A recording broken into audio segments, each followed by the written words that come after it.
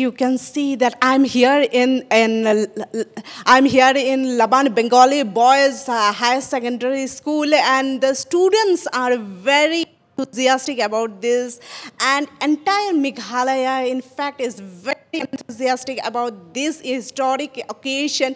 With me we have some of the students. Let me remind you Laban Bengali Boys is known for science education and it is celebrating its centenary year and we have students with us let me talk to some of the students and uh, let me come to know how they feel. If you can come forward and tell us how do you feel? I feel, first of all, I think it is a very glorious moment for India. It is a historical moment and we all should be very proud of it. This is the first time that a country is so close to being uh, achieve a soft landing on the lunar surface. That is uh, also that is on the south pole of the surface.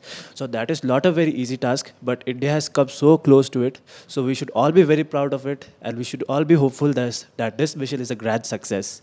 Yeah, definitely. The students are enthusiastic. If I can talk to another student, and what do you feel about it? So I am very happy to know that no country has till date went to the lunar surface uh, on the south pole so it's the first time that india is doing it and i am very happy for it yeah and another student is here let me talk to you how do you uh, feel it's uh, actually a very glorious moment for india because we are the first to do so if we can do it. So I really hope we'll do it. And for me personally, it's a very wonderful moment because I have a great interest in science and space actually. So I really hope it will happen and we'll achieve this. It will be a historic moment indeed.